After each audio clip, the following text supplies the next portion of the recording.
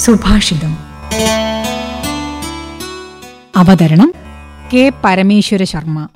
ആയിരത്തി തൊള്ളായിരത്തി നാൽപ്പത്തഞ്ച് ആഗസ്റ്റ് ആറിനാണ് അണുബോംബിന്റെ ഭീകരത ലോകം ആദ്യമായി ഞെട്ടലോടെ ദർശിച്ചത്. എത്രയോ നിഷ്കളങ്കരായ കുട്ടികളെയും സ്ത്രീകളെയും പുരുഷന്മാരെയുമാണ് ജപ്പാനിലെ ഹിരോഷിമയിൽ പൊട്ടിയ അണുബോംബ് നിഷ്കരണം കൊന്നൊടുക്കിയത്. നിഷ്കളങ്കരായ മനുഷ്യരെ കൊന്നൊടുക്കുന്ന അണുബോംബ് ശാസ്ത്രത്തിന്റെ ഏറ്റവും പൈശാചികമായ പ്രയോഗമാണെന്നാണ് മഹാത്മാഗാന്ധി അഭിപ്രായപ്പെട്ടത്. കായിക ബലമുള്ള രണ്ടു കൂട്ടർ ഏറ്റുമുട്ടുകയും കൂടുതൽ കരുത്തുള്ളവർ വിജയിക്കുകയും ചെയ്യുന്ന പഴയകാലത്തെ പോരാട്ടമല്ല പുതിയ യുദ്ധമുറയെന്ന് ആധുനിക യുദ്ധോപകരണങ്ങളുടെ പ്രയോഗത്തോടെ വ്യക്തമാക്കപ്പെട്ടു.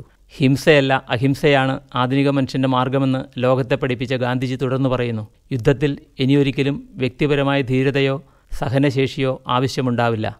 ഒരു ബട്ടൺ അമർത്തി ഏത് മനുഷ്യ സമൂഹത്തിനുമേലും വിഷം ചൊരിയാൻ ശാസ്ത്രം വഴി വഴികണ്ടെത്തിക്കഴിഞ്ഞു മാത്രമല്ല ഇന്ന് നശീകരണ ആയുധങ്ങൾക്ക് രൂപം നൽകാനും വിറ്റഴിക്കപ്പെടാനുമുള്ള ഒരു വൻ വിപണിയായി യുദ്ധഭീഷണി മാറിക്കഴിഞ്ഞു. ഹിരോഷിമയിലും നാഗസാക്കിയിലും ആറു പതിറ്റാണ്ടുകൾക്ക് മുൻപ് നിഷ്കളങ്കരും നിരായുധരുമായ ലക്ഷക്കണക്കിന് നിസ്സഹായരായ മനുഷ്യരെ കൊന്നൊടുക്കുകയും അനേകരെ തീരാദുഃഖത്തിൽ ആഴ്ത്തുകയും ചെയ്ത അണുബോംബുകൾ ഒരർത്ഥത്തിൽ ആയുധ കച്ചവടത്തിന്റെ വിപണി തുറക്കൽ പ്രഖ്യാപനമായിരുന്നു. ഇന്ന് ലോകത്ത് ഏറ്റവും കൂടുതൽ ഗവേഷണം നടക്കുന്നത് കൂടുതൽ കൂടുതൽ മാരകമായ യുദ്ധോപകരണങ്ങളുടെ കണ്ടെത്തലിനു വേണ്ടിയാണ് ഏറ്റവും കൂടുതൽ വിറ്റഴിക്കപ്പെടുന്നത് ആയുധങ്ങളും. ഭാരതം ഉൾപ്പെടെ മിക്ക രാജ്യങ്ങളുടെയും വാർഷിക ബജറ്റിൽ ഏറ്റവും കൂടുതൽ പണം നീക്കിവെക്കുന്നത് പട്ടിണി മാറ്റാനല്ല പട്ടാളത്തിനു വേണ്ടിയാണ്.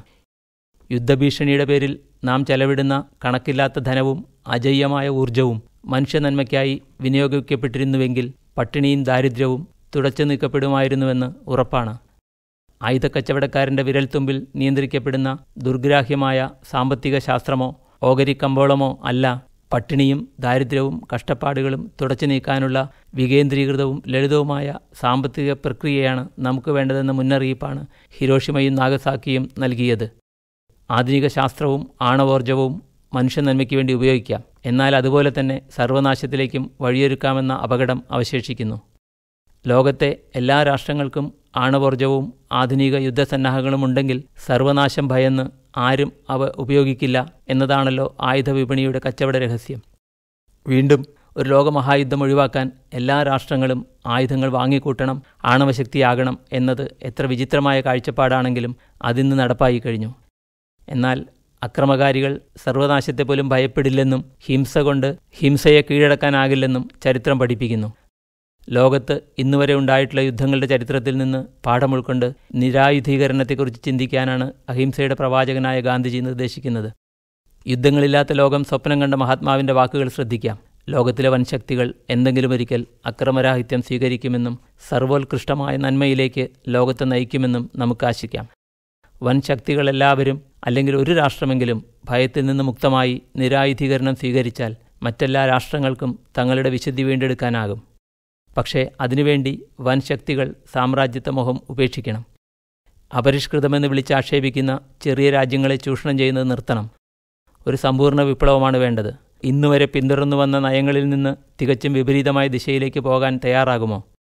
അത്ഭുതങ്ങൾ സംഭവിച്ചുകൂടായികയില്ല. അധർമ്മത്തിന്റെ വിനാശത്തിനു വേണ്ടി ഈശ്വരശക്തി ഉണരുകയില്ലെന്ന് ആര് കണ്ടു? ഒരു കാര്യം തീർച്ചയാണ്. ആയുധമത്സരം ഇന്നത്തെ നിലയിൽ തുടർന്നാൽ ഇന്നുവരെ ദർശിച്ചിട്ടില്ലാത്ത വിധത്തിലുള്ള കൂട്ടക്കൊലയാകും ഉണ്ടാവുക. അതിലൊരു വിജയി ഉണ്ടായാൽ തന്നെ വിജയം അവർക്ക് മരണത്തിന്റെ മൂർത്തരൂപമായിട്ടാകും അനുഭവപ്പെടുക. ധൈര്യമായും നിരുപാധികമായും അക്രമരാഹിത്യത്തിന്റെ മാർഗം ലോകം സ്വീകരിച്ചില്ലെങ്കിൽ വലിയൊരു ദുരന്തത്തിൽ നിന്ന് നമുക്ക് മോചനമുണ്ടാകില്ല.